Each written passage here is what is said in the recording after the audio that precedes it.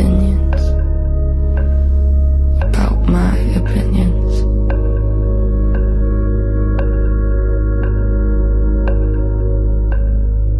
About my music.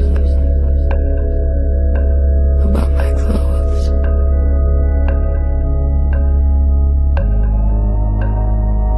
About my body. Some people hate what I wear. Some people praise it. Some people use it to shame others. Some people use it to shame me. But I feel you watching. Always. And nothing I do goes unseen. So while I feel your stares,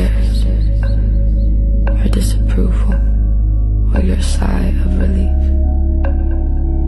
if I lived by them, I'd never be able to move. Would you like me to be smaller,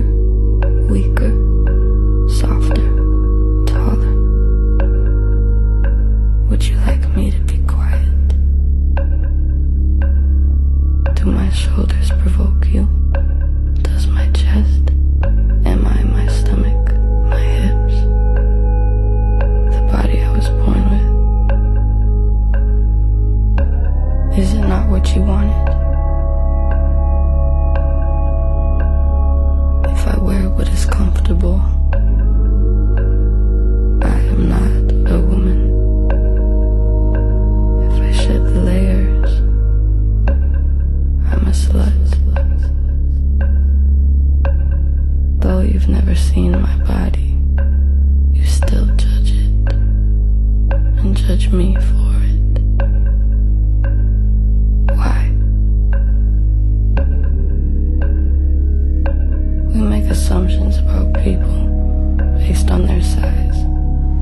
We decide who they are. We decide what they're worth.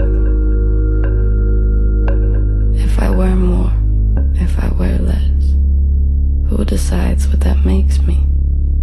What that means? Is my value based only on your perception? Or is your opinion of me